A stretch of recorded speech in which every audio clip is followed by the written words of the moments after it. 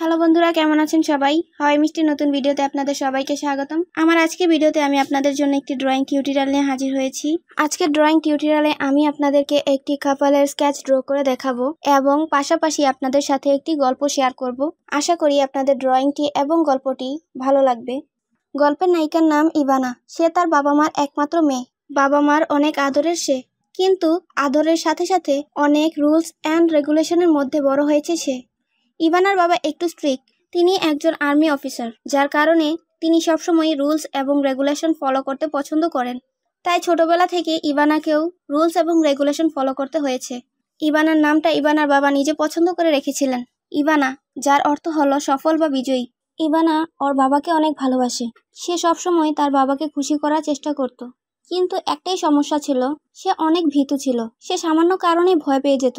এবং সে যখন খুব বেশি ভয় পায়, তখন সে সেন্সলেস হয়ে যায়। ইবানার বাবা এবং মা উভয়ে অনেক চেষ্টা করেও মেয়ের এই সমস্যাটা কাটাতে পারেননি। এমনিতে ইবানা লেখাপড়ায় অনেক ভালো। ছোটবেলা থেকেই সব পরীক্ষায় ভালো করেছে। কিন্তু এইচএসসি পরীক্ষাতে গোল্ডেন অ্যাপ্লাস পায়নি, যার কারণে ইবানা অনেক ভয় পায়। ভাবে, ওর বাবা হয়তো ওর উপর অনেক রাগ করেছেন। এদিকে ইবানার বাবা ওর বিয়ে ঠিক করেছেন। আজ ইবানার বিয়ে। ইবানা জানে না কার সাথে ওর বিয়ে হচ্ছে। ইবানা শুনেছে ওর হবু স্বামী নাকি কৃষক। ইবানা ভাবে, ও গোল্ডেন এ প্লাস না পাওয়ার কারণে ওর বাবা ওর উপর অনেক রাগ করেছেন, যার কারণে তাকে একজন কৃষকের সাথে বিয়ে দিয়ে দিচ্ছেন। ও ভেবেছিল এইচএসসি পাশ করার পর বড় একটা ইউনিভার্সিটিতে ভর্তি হবে। ওর স্বামী, যে কিনা একজন কৃষক, সে কি ওকে ইউনিভার্সিটিতে পড়ার সুযোগ করে দেবে? ইবানা এসবই ভাবছিল। বিয়ের পর যখন আয়নায় মুখ দেখানো হয়েছিল, ইবানা ওর স্বামীকে প্রথমবার দেখেছিল। ওর স্বামীর নাম আহিল। সবার কাছ থেকে বিদায় নিয়ে আহিল ইবানাকে নিয়ে নিজের বাড়িতে চলে যায়। আহিলের বাড়িতে শুধু ওর মা এবং ওর বোন আছে, আর কেউ নেই। আহিলের বাড়িটা কাঠের দোতলা বাড়ি। নিচের রুমগুলিতে আহিলের মা এবং আহিলের বোন থাকে, আর উপরে একটা রুম আছে, সেটাতে আহিল থাকে। বাড়ির সামনে দুটি পুকুর আছে এবং একটি বাগান আছে। ইবানা আহিলের রুমের বিছানায় বসে আছে। আহিল রুমে ঢুকে ওকে সালাম দিল। তখন ইবানা উঠে দাঁড়াল এবং কাপা কাপা কণ্ঠে সালামের উত্তর দিল, আহিল ওকে ওর নাম জিজ্ঞেস করল। ইবানা ভয়ে ঘামতে শুরু করেছে। ও কিছুই বলতে পারছে না। আহিল ওর সামনে গিয়ে দাঁড়াতেই ইবানা সেন্সলেস হয়ে গেল এবং আহিলের উপরে পড়ে গেল। আহিল তো অবাক, সে ভাবছে, এটা কি হলো? আমি তো জানতাম উনি একটু বেশি ভয় পান। কিন্তু এতটাই ভয় পান যে আমি শুধু নাম জিজ্ঞেস করাতেই উনি সেন্সলেস হয়ে গেলেন। আহিল বুঝতে পারছে না এখন ও কি করবে। কাউকে কি ডেকে আনবে? আজ বাড়িতে অনেক মেহমান। বাইরে গিয়ে কি বলবে? যে ওর বউ ওকে দেখে সেন্সলেস হয়ে গেছে, সে ইবানাকে বিছানায় শুয়ে দেয়। তারপর ওর হাত পা মুছে দিল। পরের দিন সকালে ইবানার ঘুম ভাঙে। ও উঠে বসল। ওর সামনে বসে আছে আহিল। এই প্রথমবার আহিলকে ভালো করে দেখেছে সে। ইবানা মনে মনে ভাবছে, দেখতে তো বেশ সুন্দর। দেখলে কেউ বলবে না উনি কৃষক। আহিল বলল, আপনার এত ভয় কিসের? যে শুধু নাম জিজ্ঞেস করাতে সেন্সলেস হয়ে গেলেন? আচ্ছা আপনি কি বিয়েতে রাজি ছিলেন না? ইবানা বলে, আমার বাবা আমাকে বিয়ে দিয়ে দিয়েছেন। আমি পরীক্ষায় গোল্ডেন জিপিএ ফাইভ পাইনি বলে। আহিল কিছু একটা ভেবে একটু মুচকি হাসে। তারপর বলে, আপনার বাবা বলল আর আপনি বিয়ে করে নিলেন। বিয়ের জন্য না করলেই তো পারতেন। বলতেন আমি বিয়ে করব না। আচ্ছা একটু পরে সবাই আপনাকে নিচে নিয়ে যাবে। কিছু রীতিনীতি, নিয়মকানুন আছে, ওইগুলো করবেন। তারপর আমি আপনাকে আপনার বাড়িতে পাঠিয়ে দেব। জোর করে বিয়ে করানো যায়, কিন্তু সংসার করানো যায় না। আপনার যেহেতু এই বিয়েতে মত নেই, তাই আমি আপনাকে জোর করে আটকে রাখব না। আহিল রুম থেকে চলে যায়। ইবানার ননদ এসে ওকে নিয়ে যায় নিচে। এবং ওর সামনে একটি পাত্রে একটি ছোট মাছ নিয়ে আসা হলো এবং সবাই ওকে বলল, এই মাছটাকে তুমি ধরো। যদি মাছটাকে একবারে ধরতে পারো, তাহলে তোমার সংসার জীবন দীর্ঘস্থায়ী হবে।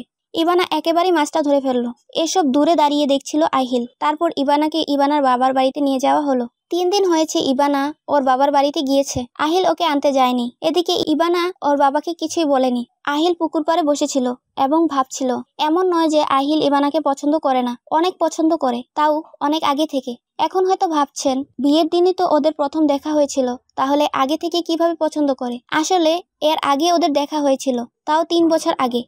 সেদিন শীতের কুয়াশাচ্ছন্ন সকালে ইবানা প্রাইভেটে যাওয়ার জন্য বাড়ি থেকে বের হয়েছিল। চারিদিকে লোকজন তেমন ছিল না। আর আহিলও ইউনিভার্সিটি থেকে ছুটি পেয়ে গ্রামে এসেছিল। সে শীতের দিনে গ্রামের সুন্দর পরিবেশটি দেখতে চেয়েছিল, তাই সকাল সকাল বাড়ি থেকে বেরিয়েছিল। ইবানা রাস্তা দিয়ে যাচ্ছিল, এমন সময় একটি কুকুর ওর দিকে চেঁচাতে চেঁচাতে আসতে লাগল। ইবানা এমনিতে কুকুরকে অনেক ভয় পায়। ভীষণ ভয়ের কারণে ও সেন্সলেস হয়ে পড়ে যায়, কিন্তু আহিল ওকে ধরে ফেলে, কারণ আহিল ওর পেছনেই ছিল। ও আহিলের কোলে ঢলে পড়ে। আহিল কিছুই বুঝতে পারছিল না কি করবে। তাই ইভানাকে কুলে নিয়ে সে এদিকে ওদিকে পানি খুঁজতে শুরু করে। কিন্তু কোথাও পানি খুঁজে পাচ্ছিল না। তাই সে ইভানাকে কোলে নিয়ে একটি শিমুল গাছের নিচে গিয়ে বসে এবং এক হাতে শিমুল গাছটাকে ঝাঁকাতে থাকে। তখন শিমুল গাছের পাতায় জমে থাকা শিশিরগুলো এবং ফুলগুলো ওদের উপর পড়তে থাকে। ইবানার সেন্স ফিরে আসে। ও বুঝতে পারে ও একটা অচেনা ছেলের কুলে শুয়ে আছে। তাই ও আর কিছু না বলে তাড়াতাড়ি করে ওখান থেকে উঠে চলে যায়। আহিল ওর পিছনে যায়নি। ওকে কিছুই বলেনি, কারণ শহরে ছেলে মেয়েদের কথা বলা স্বাভাবিক হলেও গ্রামে যদি কথা বলতে দেখে, তাহলে অনেকে অনেক কিছু ভাবতে পারে। সেদিন ইভানাকে খুব ভালো লেগেছিল আহিলের, কিন্তু সে তা নিয়ে বেশি ভাবেনি। কারণ আহিল কখনোই চায়নি বিয়ের আগে সে প্রেম করবে। সে ভেবেছিল নিজের সব ভালোবাসা সে শুধু নিজের বউয়ের জন্যই রাখবে। কিন্তু বিয়ের দিন যখন সে ইভানাকে দেখতে পায়, তখন সে মনে মনে অনেক খুশি হয়েছিল। কারণ তিন বছর আগে যাকে দেখে ভালো লেগেছিল সেই ওর বউ হয়ে তার জীবনে এসেছে। এসবে ভাবছিল আহিল। আহিল দেখতে পায় একটি বগ এসে পুকুরের পাড়ে বসে এবং পানি থেকে ছু মেরে একটি মাছ ধরলো। তখন ইভানার মাছ ধরার কথাটা তার মনে পড়ে যায়। এদিকে বাড়িতে আসার পর তিন দিন হয়ে গেছে, কিন্তু ইবানা বাড়িতে কিছুই বলেনি। ইবানার বাবা আহিলকে ফোন করেন। তারপর আহিল ইবানাদের বাড়িতে আসে। যেহেতু ইবানা বাড়িতে কিছুই বলেনি, তাই আহিল ইবানাকে নিয়ে ওর বাড়িতে চলে যায়। ইবানা বাড়িতে পৌঁছে আহিলকে জিজ্ঞেস করে আপনি তো বলেছিলেন আমাকে নিতে যাবেন না। তাহলে কেন গেলেন? আহিল বলে, এত কষ্ট করে মাছ ধরলেন, সেটা কি আর বিফলে যেতে দেব? ইবানা জিজ্ঞেস করল, আমি কিছু বুঝলাম না, আপনি কি বলতে চাচ্ছেন? আহিল বলল, যদি সেটা বোঝার ক্ষমতা আপনার থাকতো, তাহলে তো আপনি বাবাকে বিয়ের জন্য না করতে পারতেন। আমি আর কিছু বলব না। দেখা গেল, এখন আমি আপনাকে কিছু বললাম, আর আপনি আবার সেন্সলেস হয়ে গেলেন। এই বলে হাসতে হাসতে আহিল চলে গেল। আসলে আহিল ভেবেছে, এমন নয় যে ইবানা আহিলকে অপছন্দ করে বা সংসার করার ইচ্ছা ওর নেই। ওর একটু সময় লাগবে। তাই আহিল ওকে একটু সময় দিতে চায়। যতদিন না ইবানা ওকে ভালোবাসতে পারে, ততদিন ও সময় দিবে। সময় দেওয়ার পরও যদি ইবানা আহিলকে ভালোবাসতে না পারে, তাহলে সে আর ইবানাকে আটকে রাখবে না। অন্যদিকে আহিলের চোখগুলো ইবানার অনেক চেনা চেনা লাগে, কিন্তু সে কিছুতেই চিনতে পারছে না। কারণ তিন বছর আগে যখন ওদের দেখা হয়েছিল, তখন আহিল মাস্ক পরেছিল, যার কারণে ও শুধু আহিলের চোখগুলোই দেখেছিল। আহিল ঘরে আসে এবং ওর ল্যাপটপটা নিয়ে বিছানার উপর বসে ল্যাপটপে কাজ করতে শুরু করে। ইবানা একটু অবাক হয়। আহিল ল্যাপটপও চালাতে পারে দেখে, কারণ ও তো জানে আহিল একজন কৃষক। ও নিজের রুম থেকে বেরিয়ে যায় এবং ওর ননদের সাথে সম্পূর্ণ ঘরটা ঘুরে ঘুরে দেখছিল। তখন ওর চোখ পড়ে আহিলের একটি ছবির দিকে। ইবানা ওর ননদকে জিজ্ঞেস করে, তোমার ভাইয়ের বুঝি ফটো এডিট করারও শখ আছে? ওর ননদ বলে, তুমি যে কি বলো ভাবি, এটা এডিট করা হবে কেন? এই ছবিটা তো যেদিন ভাইয়া গ্রাজুয়েশন কমপ্লিট করেছিল, সেদিন তুলেছিল। ভাইয়া তো শহরের বড় ইউনিভার্সিটি থেকে গ্রাজুয়েশন কমপ্লিট করেছে। ইবানা মনে মনে একটু খুশি হয়। যাক, ওর স্বামী গ্রাজুয়েশন কমপ্লিট করেছে। আশেপাশে কোনো গ্রামে এরকম শিক্ষিত ছেলে নেই। আহিল কিন্তু ইবানার অনেক যত্ন নেয়। ইবানের ইচ্ছের বিরুদ্ধে কিছুই করতে বাধ্য করে না সে। আহিল যখন ইবানার বাবার বাড়িতে গিয়েছিল, তখন ওর দাদির কাছ থেকে ইবানা সম্পর্কে সবকিছুই জেনে এসেছে সে। ইবানা কি পছন্দ করে, কি অপছন্দ করে, সবকিছুর খেয়াল রাখে আহিল। আজ বাড়িতে ইলিশ মাছ রান্না করা হয়েছে। ইলিশ মাছ ইবানার অনেক পছন্দ, কিন্তু সে কাটা বেছে খেতে পারে না। তাই ইবানা খাবারগুলো নিয়ে নাড়াচাড়া করছে, খাচ্ছে না। আহিল ঠিকই বুঝতে পারছে ইবানা কেন খাচ্ছে না। সবাই যখন খাবার খেয়ে টেবিল থেকে উঠে গেল, আহিল কিছু না বলে ইবানার কাছে গিয়ে বসে ওর মাছ বেছে দিতে শুরু করল। এবং মাছ বাছার পর ওর মুখের কাছে খাবার ধরে। ইবানা বলে, আপনি কি করছেন? আমি নিজে খেতে পারব। আহিল বলে, আমি জানি কতটা খেতে পারবেন। মাছটাও তো বেছে খেতে পারছেন না। ইবানা আর কিছু বলে না। আহিল ওকে খাইয়ে দেয়। আহিল বলে, আজ থেকে পড়তে বসবেন। এক সপ্তাহ পরে আপনার ভর্তি পরীক্ষা। আমি বই নিয়ে এসেছি। এখন থেকে আমি রোজ আপনাকে পড়াবো। যেমন কথা তেমন কাজ। এই এক সপ্তাহ আহিল নিজেই ইভানাকে পড়িয়েছে। পরীক্ষার আগের দিন রাতে আজও ইভানা পড়তে বসেছে। আজ বেশি পড়াবে না আহিল, জাস্ট সামান্য রিভিশন দিতে বলেছে। এমন সময় কারেন্ট চলে যায়। ইভানা বায়না করে সে আর পড়বে না, বাগানে যাবে। আহিল তাই ওকে নিয়ে বাগানে যায়। বাগানে ছিল চাঁদের আলো। পরিবেশটা বেশ রোমান্টিক ইভানা আহিলের গা ঘেসে বসে। ও চাচ্ছিল, আহিল ওকে কাছে টেনে নিক। আহিলও সেটা বুঝতে পারছে, কিন্তু না, সে তা করবে না। সে চায় ইবানা নিজের ভালোবাসার কথা নিজের মুখে বলুক। সে ইবানার কাছে গিয়ে বলে, কালকে তাড়াতাড়ি ঘুম থেকে উঠতে হবে, তাই চলুন ঘরে গিয়ে ঘুমাবেন। ইবানা খানিকটা অভিমান করল এবং ঘরে চলে গেল। আহিল একটু মুচকি হাসলো। পরের দিন সকালে আহিল ইবানাকে নিয়ে ইউনিভার্সিটিতে যায়। ইবানা পরীক্ষাটা ভালোই দিয়েছে। তাই ইউনিভার্সিটিতে চান্সও পেয়েছে। আহিল ওকে ইউনিভার্সিটিতে ভর্তি করে দেয়। ইউনিভার্সিটি ওদের গ্রাম থেকে অনেকটা দূরে। তাই ওরা ঠিক করেছে, শুধু পরীক্ষাগুলো দিয়ে আসবে আর বাড়ি থেকেই পড়াশোনা করবে। অনেক দিন পার হয়ে গেছে। ইবানা এখন আহিলকে ভালোবেসে ফেলেছে।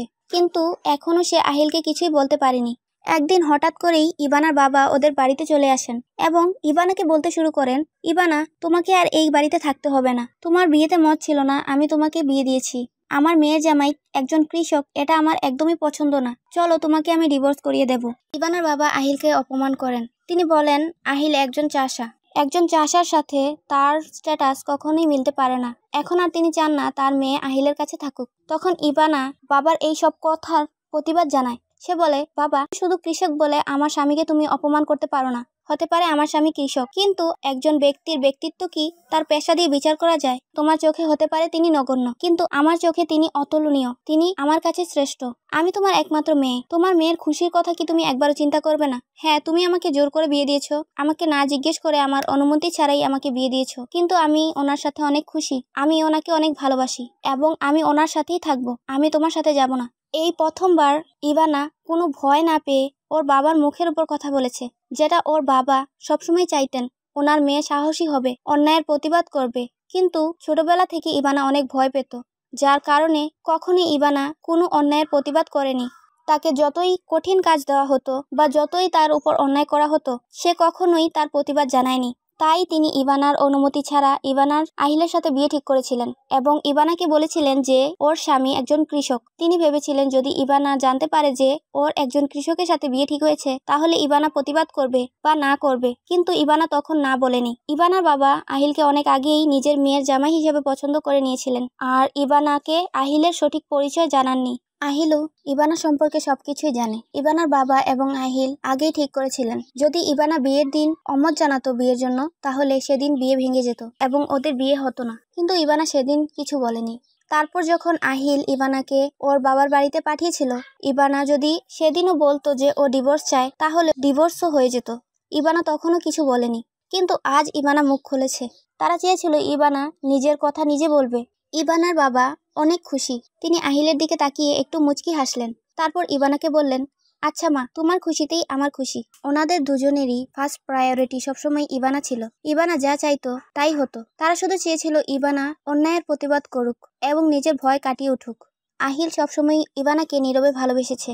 সে চায়নি কখনো নিজেকে ইবানার উপর চাপিয়ে দিতে। ইবানার বাবা ওদের বাড়িতেই খাওয়া দাওয়া করে, মেয়ে এবং মেয়ের জামাইয়ের জন্য অনেক দোয়া করে সেখান থেকে চলে গেলেন। আহিল আজ অনেক খুশি, কারণ বিয়ের এতদিন পর এই প্রথমবার তার বউ তার প্রতি ভালোবাসার কথা বলেছে। ইভানার বাবা এবং আহিল যে স্বপ্নটা দেখেছিল ইভানার জন্য, যে ইভানা নিজের কথা নিজে প্রকাশ করবে এবং কারও কাছে মাথা নত করবে না, অন্যায় আবদার মেনে নেবে না, আজ সেটাই হয়েছে। আহিল ইভানার সামনে গিয়ে দাঁড়ায় এবং বলে, আপনি কি সত্যি আমাকে ভালোবাসেন? ইবানা বলে, কেন আপনার কি মনে হয় আমি রোবট? আমি ভালোবাসতে পারি না? আহিল বলে, না, তেমন নয়। আরেকবার বলুন না প্লিজ, আপনি আমাকে ভালোবাসেন? ইবানা বলে, কেন বলব? বিয়ের এতদিন হয়ে গেছে, কিন্তু আপনি কি একবারও বলেছেন যে আপনি আমাকে ভালোবাসেন? আহিল বলে হ্যাঁ আমি বলিনি, কারণ আমি চাইনি আমি ভালোবাসি বলে আপনিও আমাকে ভালোবাসুন। আমি চেয়েছিলাম আপনি নিজে থেকেই আমাকে ভালোবাসবেন। আপনাকে আমার অনেক আগে থেকেই পছন্দ হয়ে গিয়েছিল এবং বিয়ের পর যখন আমি আপনাকে আয়নায় দেখেছিলাম, তখন থেকেই ভালোবাসতে শুরু করেছি। ইবানা বলে, আমি জানি, তিন বছর আগে আমাদের দেখা হয়েছিল, তখন থেকেই হয়তো আপনি আমাকে পছন্দ করেন। আহিল বলে, আপনার মনে আছে? ইবানা বলে, প্রথমে আমি মনে করতে পারছিলাম না। সবসময় আমার মনে হতো আপনাকে কোথায় যেন আগে দেখেছি, কিন্তু আমার মনে পড়ছিল না। কিছুদিন আগে যখন আমি অ্যালবামে ছবি দেখছিলাম, তখন আপনার একটা মাস্ক পরা ছবি আমার চোখে পড়ে এবং তখনই আমার তিন বছর আগের সেই ঘটনার কথা মনে পড়ে যায়। এমনিতে বিয়ের পর আমি অনেকবার আপনার উপর ক্রাশ খেয়েছি। আমার প্রতি আপনার যত্ন নেওয়া, আমার সুবিধা অসুবিধা খেয়াল রাখা, কখনো দুষ্টুমি, কখনো শাসন, কখনো বা আদর করে খাইয়ে দেওয়া এই সবই আমাকে আপনার প্রতি দুর্বল করেছে। আমি কখন যে নিজের অজান্তেই আপনাকে ভালোবেসে ফেলেছি তা আমি নিজেও জানি না। তখন আহিল বলে, আমি কৃষক বলে আমায় ছেড়ে যাবে না তো? ইবানা বলে, না, কখনো না। আমি আপনাকে ভালোবেসেছি, আপনার পেশাকে নয়। আপনি কি কাজ করেন তাতে আমার কিছু যায় আসে না। তখন আহিল আবারও বলে, আমি যদি বলি আমি পেশায় কৃষক না, তাহলে? আসলে আমি একজন সায়েন্টিস্ট। আমি গবেষণার কাজে কিছুদিনের জন্য গ্রামে এসেছিলাম। ইবানা বলে, সবাই যে বলে আপনি কৃষক, আপনি তো কখনো বললেন না আপনি কৃষক না? আহিল বলে, হুম, আমি বলিনি। আমি তো কৃষি কাজও করি। আর আপনি তো কখনো জিজ্ঞেস করেননি, তাই বলিনি। পেশায় কৃষক না হলেও আমি শখের বসে কৃষক। কৃষক বলে নিজের পরিচয় দিতে আমি কখনো লজ্জাবোধ করি না, বরং গর্ববোধ করেছি। ইবানা বলে, আমিও একজন কৃষকের বউ বলে নিজেকে পরিচয় দিতে গর্ববোধ করি। তখন আহিল বলে, আপনাকে একটু জড়িয়ে ধরবো? আবার সেন্সলেস হয়ে যাবেন না তো? তখন ইবানা আর কিছু না বলে আহিলকে জড়িয়ে ধরে। এখানেই শেষ হলো এই মিষ্টি ভালোবাসার গল্পটি। আজকে গল্পটি থেকে আমরা বুঝতে পারি, পেশা দিয়ে কখনো কারও ব্যক্তিত্ব বিচার করা ঠিক নয়। একজন মানুষের ব্যক্তিত্বের আসল পরিচয় তার ব্যবহারে, তার কর্মে। আর আরেকটা কথা হলো, যেই সম্পর্কগুলো তৈরি হতে একটু সময় লাগে, সেগুলো একটু বেশি গুছানো হয় এবং মজবুত হয়, যার কারণে এই সম্পর্কগুলোতে যে কোনো বাধা, বিপদ, সমস্যা অতিক্রম করার ক্ষমতা থাকে। যেমনটা হয়েছে আহিল এবং ইবানার সম্পর্কতে। কারণ আহিল ইবানাকে সময় দিয়েছে। অনেকটা সময় নিয়ে তারা তাদের সম্পর্কটা গুছিয়ে নিয়েছে। আপনাদের এই গল্পটি এবং আমার ড্রয়িংটি কেমন লেগেছে তা অবশ্যই কমেন্টের মাধ্যমে জানাবেন। শীঘ্রই দেখা হবে পরবর্তী কোনো ভিডিওতে ততদিন stay safe stay healthy take care and good bye